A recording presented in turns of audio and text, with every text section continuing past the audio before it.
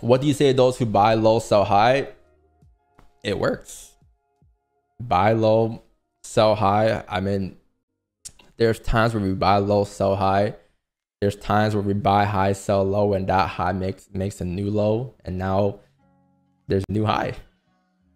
Majority of the times though, we would buy high, sell low against the book. Not not on purpose, but off of what price prints.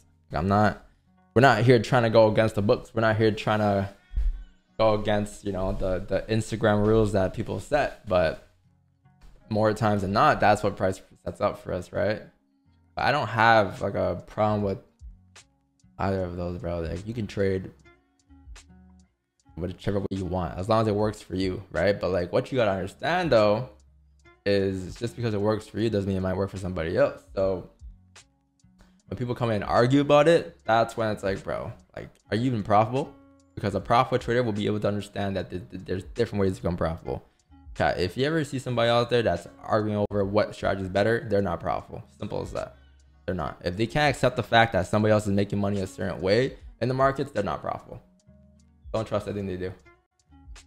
Because a profit trader would understand, bro. Like there's different ways to become profitable. There's different there's there's so many times chat where like I could be in a buy position and someone chat could be in the sell and I'll literally tell them while I'm in drawdown that they're gonna win, but I'm gonna win as well because the market will print both ways for us.